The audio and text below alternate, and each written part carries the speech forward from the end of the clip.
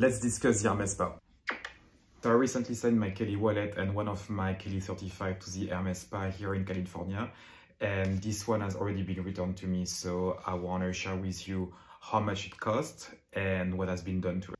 Here is a wallet for some of you that have not seen it on my channel before. It's from 2009 and I bought it a year and a half ago through uh, Vestiaire Collective. Total bill was $785, kind of expensive. Cleaning and finishing for $320. Stain glue removal for free. They replace all of the hardware because they were definitely worn out. Flap window replacement, which I believe is this one, cost $75. Replacement of the side straps plate those one $135 replacement of the clasp the main one here $255 and it took Hermes a little bit less than two months to complete this work